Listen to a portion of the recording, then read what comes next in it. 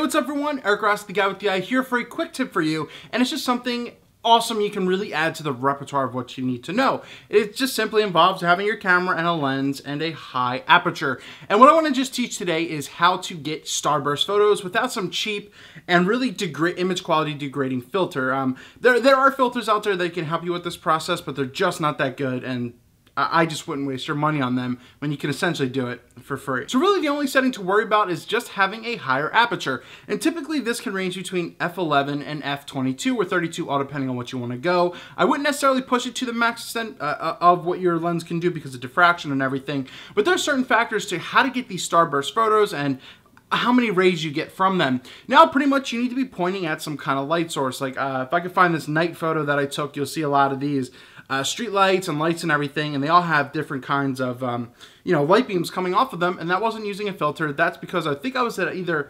f14 or f16 and that's just the way the light hits the blades and comes into the lens and that's also how you, how it determines about how many rays you get and all the bursts you get is the blades within the lens like you can go between like 5 6 10 all that kind of stuff so it, it just all matters on what uh, what kind of blades are in your lens that you can really customize the look you really want. But you don't need to spend a lot of money on something like this. It's just easy to do. And it's also easy if you kind of put something like darker in the foreground of something, like if you wanted to get some kind of a sunset, it's also great to put like maybe like some kind of range or building in front of it to obscure to give a not fully starburst look and you know the lens flare and everything like that it kind of cuts it off a little bit to add a little bit more dynamic. Or shooting through something is pretty awesome as well. Like if you get the light to wrap around something that's also something very very very unique. So i just wanted to give you that quick tip. It's very easy to do starburst photos. You don't need to waste money on something that could de degrade your image quality.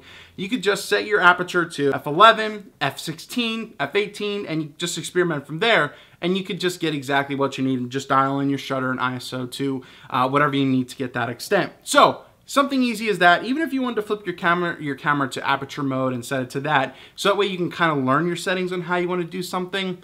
It's just something else you can add to your repertoire.